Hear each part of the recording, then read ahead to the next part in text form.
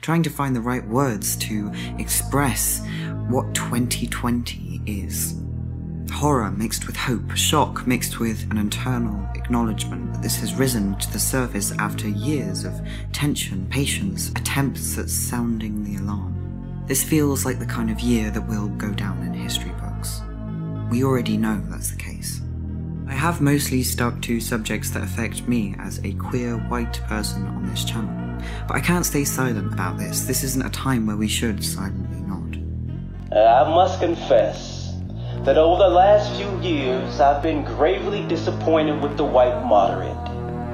I've almost reached the regrettable conclusion that the Negro's great stumbling block and the stride towards freedom is not the white citizen councilor or the Ku Klux Klan, but the white moderate who is more devoted to order than to justice, who prefers a negative peace, which is the absence of tension, to a positive peace, which is the presence of justice, who constantly says, I agree with you in the goal you seek, but I can't agree with your methods of direct action who paternalistically feels he can set the timetable for another man's freedom, who lives by the myth of time and who constantly advises the Negro to wait until a more convenient season. Shallow understanding from people of goodwill is more frustrating than absolute misunderstanding from people of ill will. Lukewarm acceptance is much more bewildering than outright rejection.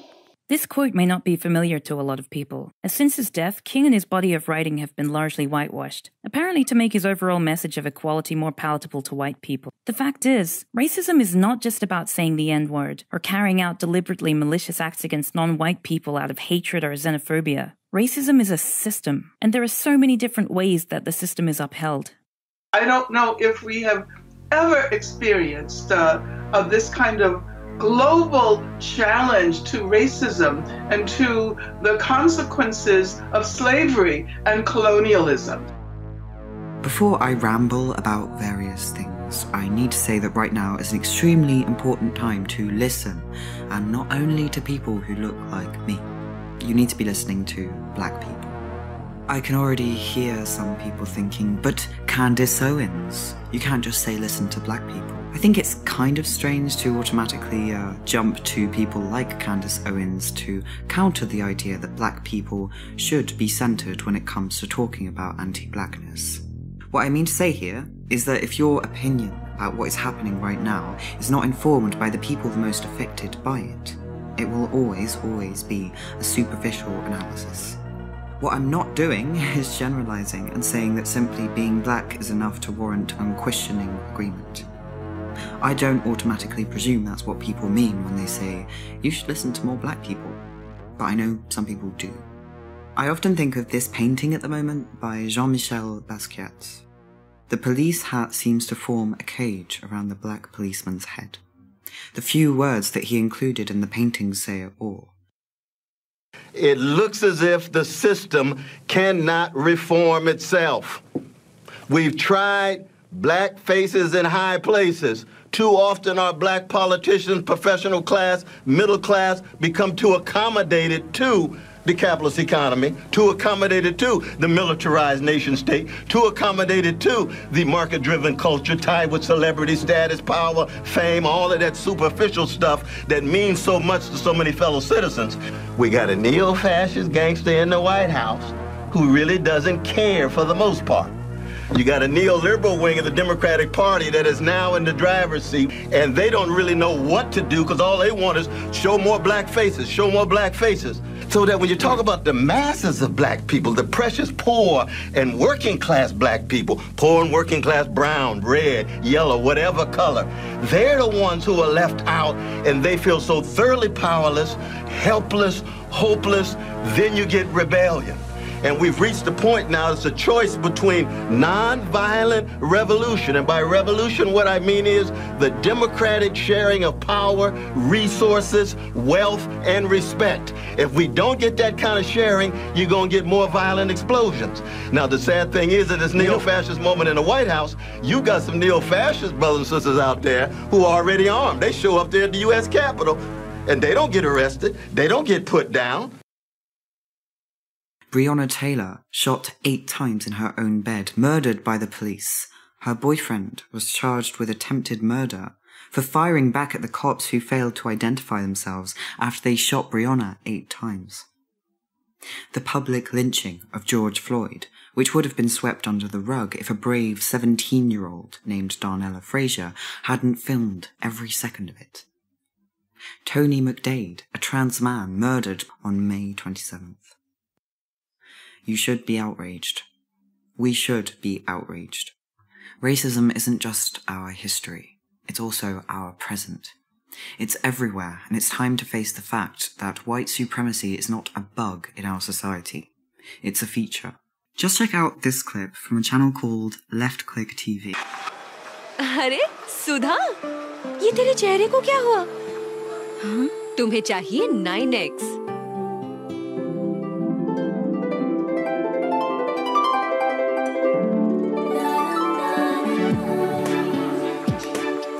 चेहरे पे रौनक लाइए सिर्फ 9 second में foreign passport that side ma'am ਤੁਸੀਂ ਕੀ ਕਹਿ ਰਹੇ ਹੋ ਜੀ आज ही 9x अपनाइए Yikes, yikes, yikes. You don't need me to tell you how fucked up that is and how it's a remnant of British colonialism and white supremacy. Yikes indeed. And speaking of yikes, we're going to have to talk about Donald Trump. Before I start talking about Trump, I don't want anyone to presume that I am saying that Barack Obama, for example, was a good president. The US has a long history of white supremacy and violence that did not start under Trump. Powerful, continuing nationalism, identifying enemies and scapegoats as a unifying cause, rampant sexism, obsession with national security, corporate power is protected, disdain for the intellectuals and the arts, rampant cronyism and corruption, disdain for recognizing human rights, supremacy of the military, controlled mass media, labor power is suppressed, fraudulent elections, religion and government are intertwined, obsession with crime and punishment, Look no further than Stephen Miller. He is Trump's senior advisor, and he's a far right conservative, an anti immigrationist, and known white supremacist. Hatewatch exposed the racist source material that has influenced his visions of policy. That source material includes white nationalist websites, a white genocide themed novel that applauds xenophobic conspiracy theories and eugenics era immigration laws that Adolf Hitler lauded in Mein Kampf. Miller sent a story from the white nationalist website VDARE in 2015. This website traffics in the white genocide or great replacement myth, which suggests that non-white people are systematically and deliberately wiping white people off of the planet. This is a myth based on hatred, driven by panic that's often called white extinction anxiety. This conspiracy theory exists solely to scare white people. The theory was popularized by a white supremacist neo-Nazi. I realize all of this is awful, but it's important to understand that it's real and it's happening. Pretending that it's not there is not going to help. Keeping this in mind, think of the coronavirus crisis happening right now that's been happening for months. The handling of it, especially in the US, has been absolutely awful. The people the most affected by the virus are poor black people. And the way that the government has nonchalantly positioned themselves as not giving a shit about the people dying shouldn't be described as simple incompetence. I'm not sure that that can be used as an excuse when we're dealing with white supremacists. Incompetence is not an excuse that we can keep using. Okay, I get it. Some people probably think that I sound like a conspiracy theorist.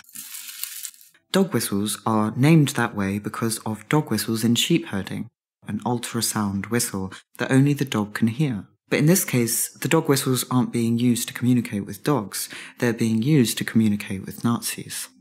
There have been quite a few dog whistles recently. And dog whistles are so effective because to people who are maybe a little less aware, people talking about these dog whistles would just seem a little bit irrational and out of touch. A tinfoil hat leftist. And that's exactly what they want you to think. That is why dog whistles are so effective.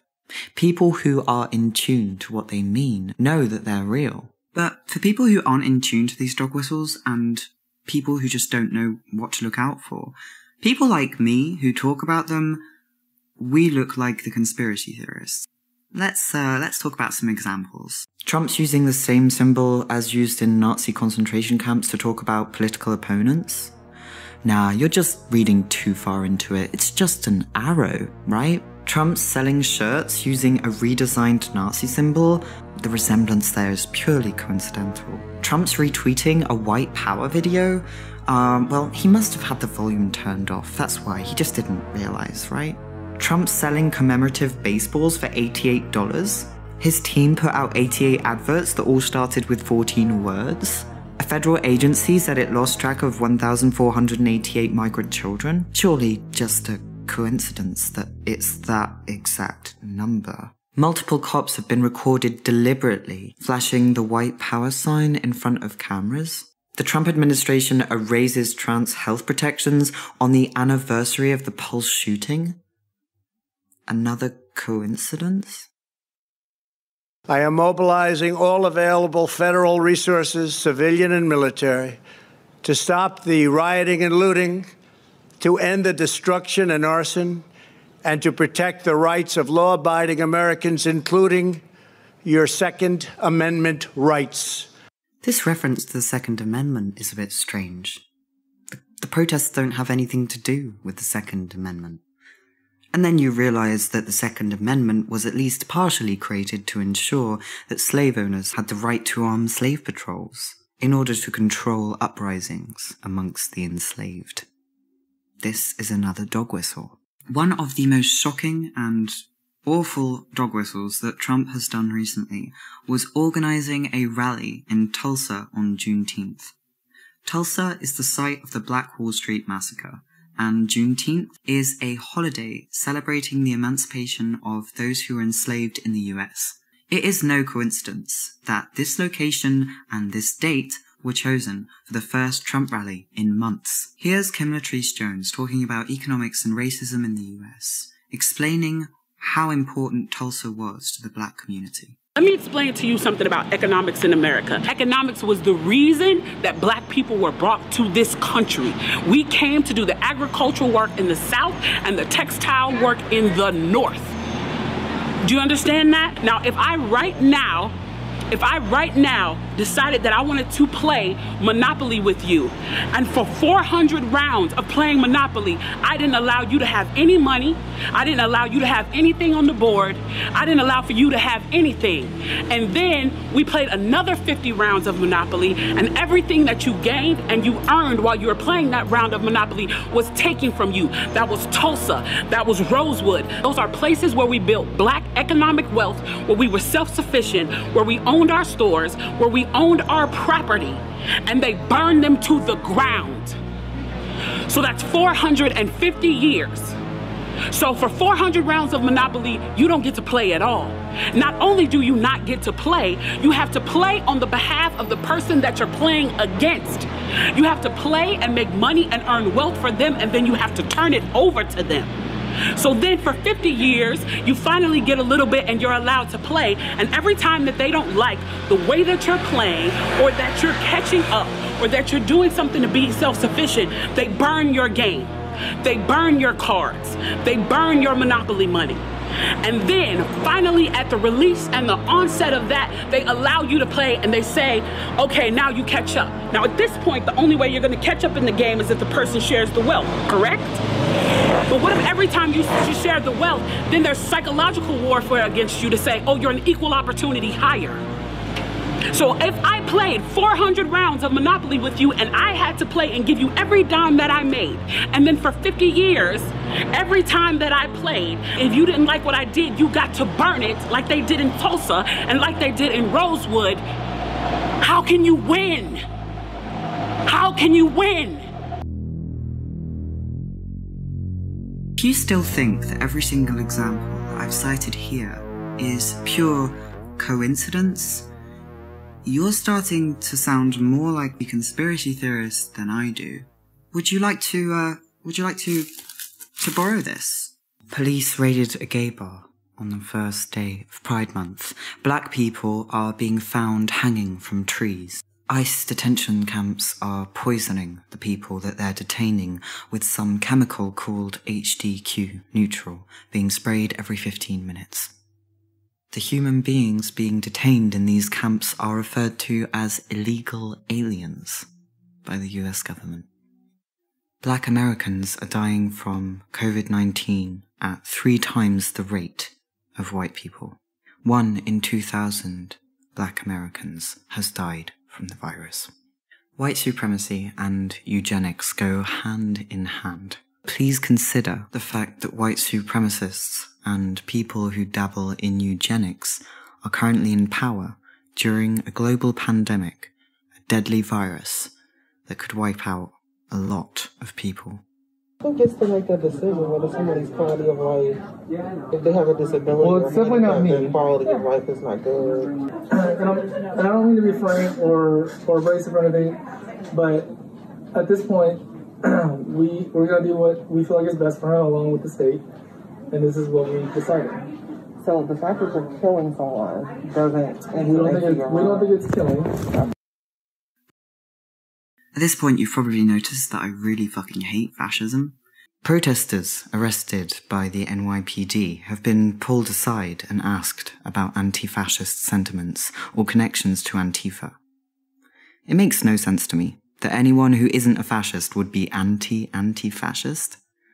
If you oppose fascism, then you're technically an anti fascist. Also, like, K pop Twitter is a more organized group than Antifa. An FBI report says that they found absolutely no intelligence indicating Antifa involvement. And this was the same day that Trump vowed to designate Antifa a terrorist organization, designating anti fascists as terrorists. Hmm. Does anyone still think it's overreacting to be talking about fascism? As early as 2006, the FBI warned of neo Nazis infiltrating police departments in the US. The reality is that the police exist primarily as a system for managing and even producing inequality by suppressing social movements and tightly managing the behaviors of poor and non white people, those on the losing end of economic and political arrangements. It's largely a liberal fantasy that the police exist to protect us from the bad guys. As the veteran police scholar David Bayley argues, the police do not prevent crime. This is one of the best kept secrets of modern life. Experts know it, the police know it, but the public does not know it. Yet the police pretend that they are society's best defense against crime and continually argue that if they are given more resources, especially personnel, they will be able to protect communities against crime. This is a myth. We need an effective system of crime prevention in our communities, but this is not what the current system is. This system is better designed to create crime and a perpetual class of people labelled criminals. Saying mass incarceration is an abysmal failure makes sense only if one assumes that the criminal justice system is designed to prevent and control crime. But if mass incarceration is understood as a system of social control, specifically racial control, then the system is a fantastic success. I want to understand y'all. I want to understand all of you. I want to. I deeply want to understand you. I would love to come to your house. I would love to meet your kids. I would love to meet your family. I would love to see the best side of everybody here. Do you want to make a stand? Do you want to make a change? Because if we charge you and you charge us, what is that really doing? This cannot be illegal. This what is that really doing? What is it doing? Come on, what are you doing? What are you doing? Fuck you! Fuck you! What the fuck do you do? Are you fucking kidding me? Okay, so you might be thinking, sure, the police kind of suck. Let's reform them, right? Hmm. There were some people who wanted to reform slavery and not abolish it. As, therefore, slavery, in some form or other, does exist, will exist, and must exist in the present condition of humanity. The next question that demands our consideration is to determine what kind of slavery it should be. What kind will most accord with the laws of nature and the spirit of Christianity? That article was published in July 1863. Wow. I wonder if in 100 or 200 years, we might be at a stage where we'll look back to this time and wonder what the fuck people were thinking. Maybe we will find it just as absurd as those who talked of reforming slavery. Maybe we'll look back at this time and think, what the fuck? I do like thinking of a better future. And I think in this better future, that's what would happen. We would look back at these ideas for reforming the police, and we'd scratch our heads and think, damn, they had it all wrong. Wanting to reform the police kind of presumes that there was something worth saving in the first place. But the police have their roots in racism. And it's not just the roots, it's the roots, the, the bark, the, the branches, the leaves, the, the fruit, the whole fucking tree is rotten.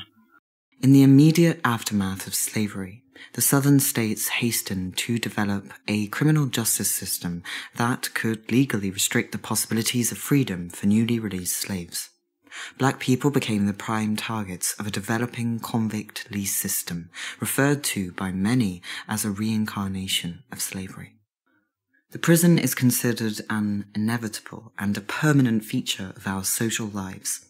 Most people are quite surprised to hear that the prison abolition movement also has a long history, one that dates back to the historical appearance of the prison as the main form of punishment.